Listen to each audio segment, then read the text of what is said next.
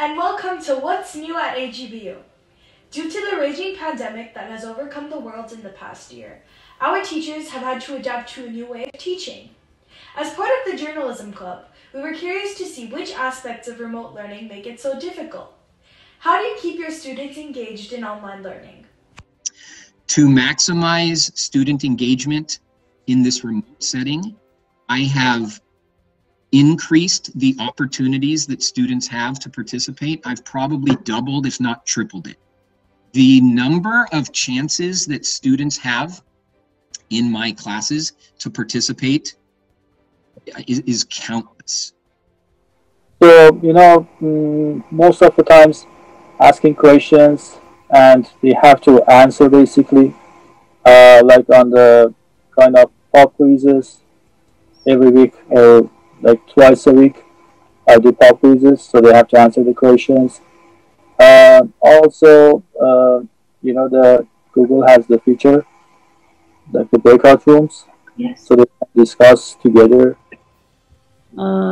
Ես ամեն բան եմ փորձում, փորձում եմ, երբեմն ստիպում եմ, խնդրում եմ, հորդորում եմ, որպեսզի իրենք հասկանան, որ մեր առարկան հայերենը ոչ միայն առարկա է, այլև սենտիմենտալ նշանակություն ունի, որ մենք ամեն մի վարքյան թանկ պետք է գնահատենք եւ մեր մայրենին պետք է սովորենք որքան հնարավոր է շատ, որովհետեւ որքան էլ մենք երբեմն ստորադասում ենք մեր առարկայի կարեւորությունը, բայց մանավանդ այս վերջին դեպքերից հետո մենք պարտականություն ունենք ավելի լավ սովորելու մեր մայրենին։ I'm hoping uh, I'm, I'm hoping the um, you have to ask them but i'm hoping one of the the things is um, i try to do a lot of class discussions a lot of class discussions, a lot of debates and dialogue on whatever it is we're happening to be reading. That way, it's not just me talking, them listening, which can get pretty stagnant in a traditional setting. I can't imagine how boring that would get in a regular setting.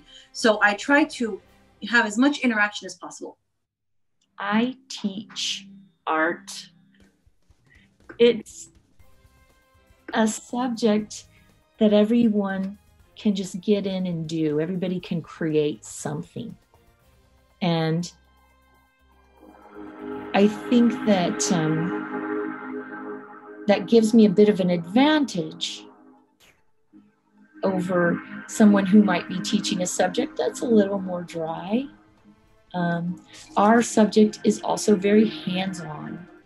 Everything we do is hands on. Անեն անշուշտ ամեն ինչ շատ ավելի դարբեր է ամեն ինչ կնմանի տասարանային աշխատանքի, դնային բարդականության, խմբային աշխատանքները մեծ տապով առաջ գացին, խումբերու բաժնվել, խմբակներու բաժնվել, վերադառնալ տասարան, խորհրդակցել։ Ես կարծեմ, որ խոսակցականին դբաստեց։ Իսկապես խոսակցական հայերենին նպաստեց մեր այս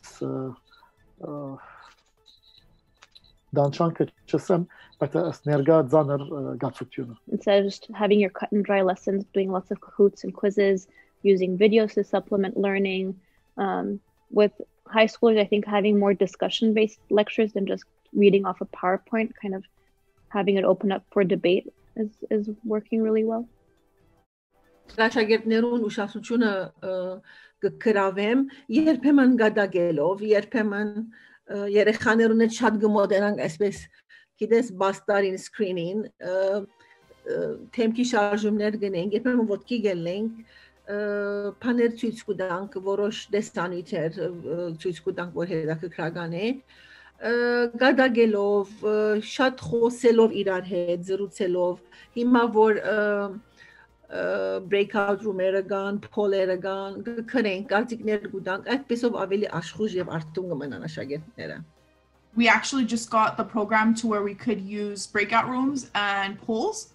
So um, I've been doing this in some of my classes and we'll be implementing it more, uh, such as breakout rooms and having polls. So having that group contact, so breaking down the class, having you guys do group activities with each other, and doing polls during class just to ask questions to make sure that everybody understands the topic.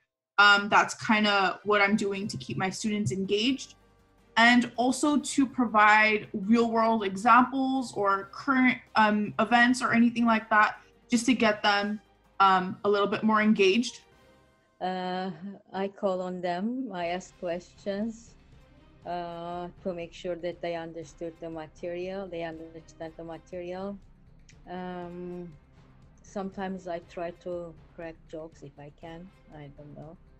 Uh, I try to be more lenient, but uh, it is not enough, of course. As I said, classroom setting is completely different and more enjoyable. So, calling on students constantly, giving them little tasks, you know, little breakout rooms uh, so that they can talk to each other and present something to class, using online resources like Desmos, for example, in math, works very well because they're act they actually have to do the work and you can see who's doing it and who's not. And so that keeps them engaged because they're actively engaged with the program. I find different ideas. One idea that I think's worked great is trying to make it more of a game setting for a learning uh, activity. So what I mean by that is maybe tying in uh, different popular games that the students like into their assignments or into their classwork. Uh, an example would be like Minecraft education version. Uh, another one would be like kind of using uh, the game Assassin's Creed.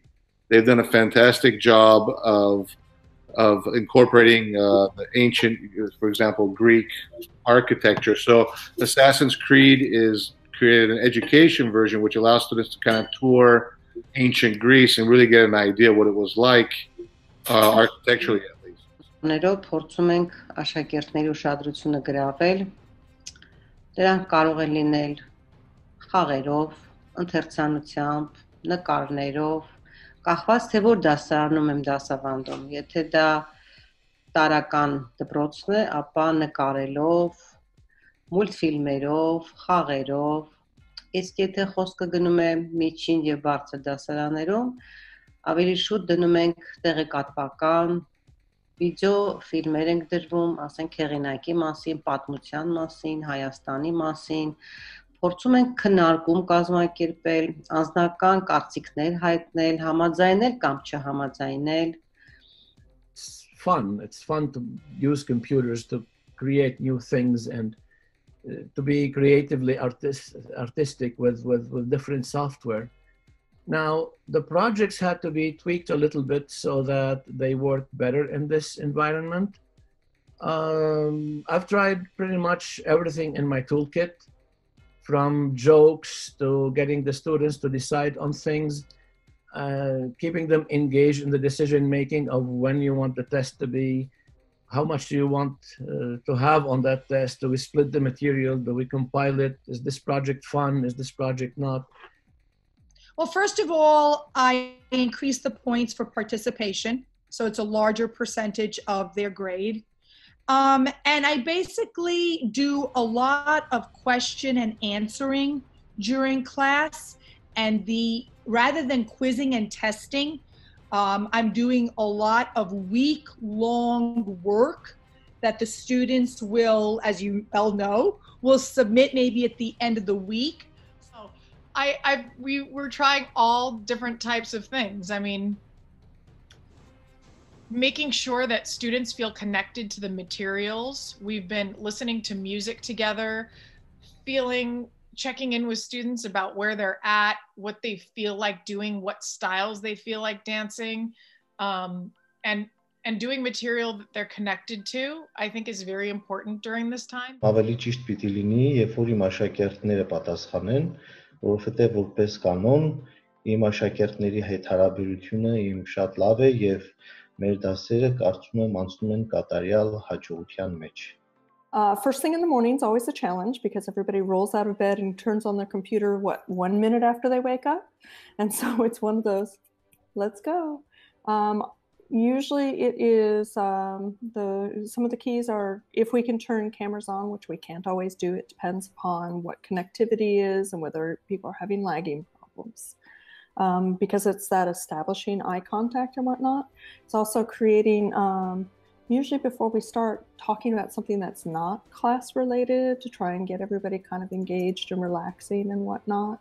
Well, as in um, the regular classroom setting, you always have to set goals. Um, online, you have to simplify the material, be creative, know your tech, um, create breakout rooms as much as you can, and most importantly, make the students feel valued.